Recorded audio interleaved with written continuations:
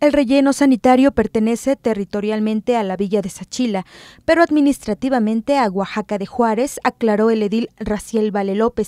Tratamos de establecer líneas de coordinación, sin embargo, en muchas de las decisiones pues es el municipio citadino quien tiene la posibilidad eh, de avanzar o de pausar alguna de esas decisiones.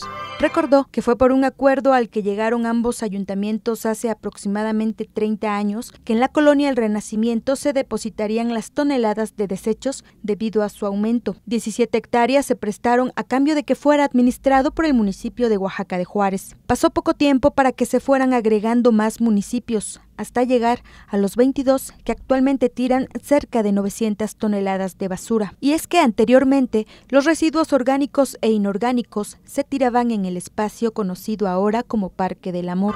Nosotros también hemos planteado que las veces que nos inviten y podamos tener eh, también pues participación en la toma de decisiones, podríamos buscar rutas alternativas.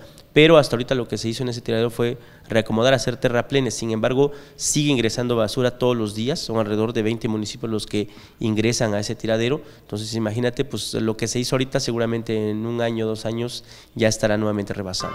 Actualmente hay seis hectáreas que fueron invadidas por integrantes del Frente Popular Revolucionario hace más de ocho años, sin que el municipio de ese entonces, José Antonio Hernández Fraguas, lo evitara. Pero en caso de que Oaxaca de Juárez no encontrara los papeles que avalen que ellos son dueños de esta tierra, será el comisario ejidal de la villa de Sachila quien decidirá las posibles soluciones a esta invasión, consideró el municipio. Ahora que está Javier Villacaña, la organización ha tenido comunicación directa con el presidente de Oaxaca al parecer están buscando la documentación que permita primero eh, certificar que ese, predio o esas seis hectáreas pertenecen realmente a la ciudad de Oaxaca. Si no es así, si no se encuentran o si simplemente no se puede acreditar, esas hectáreas serían o estarían todavía bajo facultad de nuestro comisario ejidal y tendría que ser él quien planteara también una ruta de solución.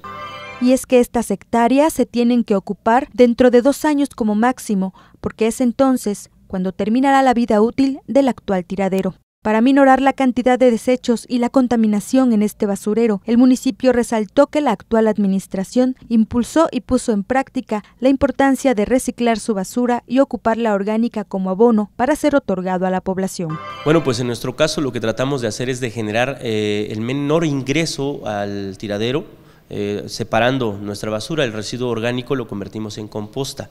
El residuo inorgánico hay una parte, un porcentaje que se intenta colocar también en las zonas de reciclaje, en las empresas que utilizan este material y ya lo que de plano no tenga destino útil, digamos, eso sí se ingresa al tiradero. Con imágenes de Pablo Cruz y José Antonio Reyes para MBM Televisión, Liliana Velasco.